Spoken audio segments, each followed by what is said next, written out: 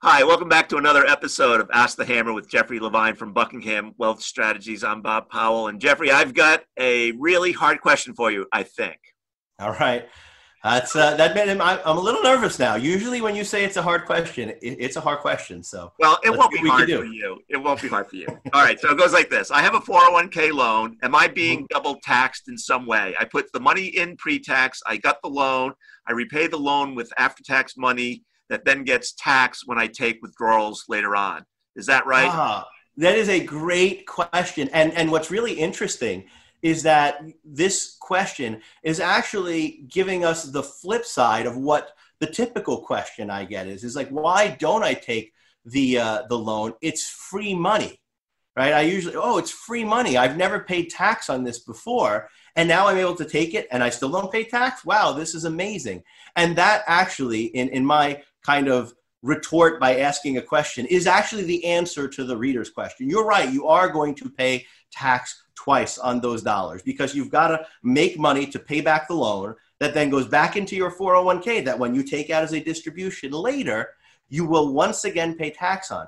But the flip side of that is when you put those dollars into your 401k the first time, you got a tax break, right? So you had an investment and put dollars into an account without paying taxes on them. And then when you took a loan, you got to go and take it out and spend that money without paying taxes at that time either. So with a 401k loan, you're actually getting a double tax break. You're spending dollars that you took a deduction for or saw your income lowered. So you're getting a double break.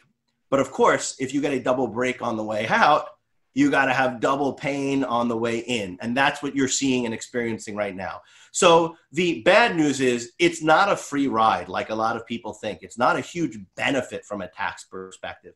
The good news, though, uh, for those in your situation is you're not being hosed by paying taxes twice right? You are, in a sense, paying taxes twice, but you did get the break up front twice to kind of accommodate this downside that you have from paying back the loan. It's all a part of the what makes sense for you, what doesn't. Is this the only place you have it? And candidly, let's start there, which is if you've got other places to take the money from, they may be better. But oftentimes, when people say, I'm going to take a 401k loan, it's precisely because they don't have other options. And so, while it's good to prepare for what will happen down the road, in other words, it's good to know what your tax liability is going to be or your responsibility when you put this money back in and then when you take it back out again and pay tax twice to your point it is perhaps not a uh, it is perhaps a moot point if you need those dollars right? If you need that money now for whatever reason uh, i'm very uh, I, I, as i often say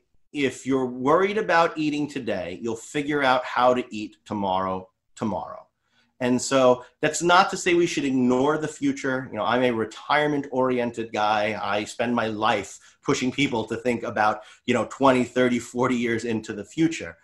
But at the end of the day, there are experiences that some people have which necessitate worrying more about today. Not everybody has the luxury of thinking about 20 and 30 and 40 years out all the time. So if that's a, a, a situation that you find yourselves in and you do need to access your 401k for a loan, just be prepared, right? That if you take it out, you're seeing a double benefit by spending dollars today that you deducted earlier, which means when you put those dollars back, you'll have to put them back with after tax dollars. And then when they come out of the account as a regular distribution, you'll pay tax on them once again.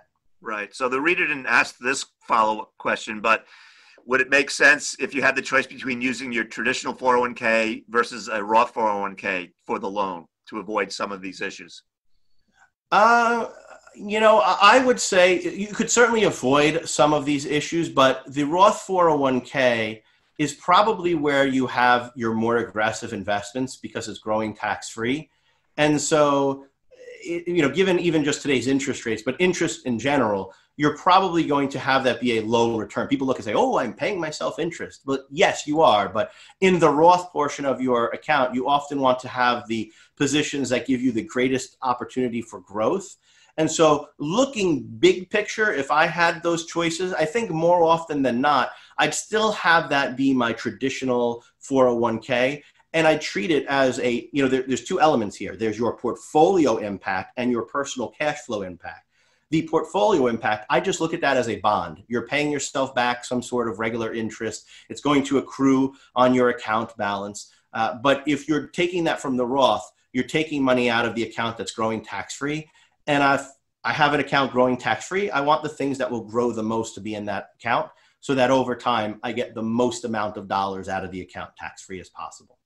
All right. Jeffrey, once again, batting a thousand, nailed it. We much appreciate you uh, answering our reader's question here on Ask the Hammer.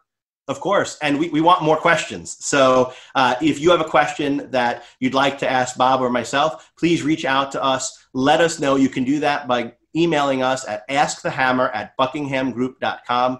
Again, that email address is askthehammer at buckinghamgroup.com. And with any luck, Bob and I will be answering that question on another one of our episodes real soon. Thanks so much.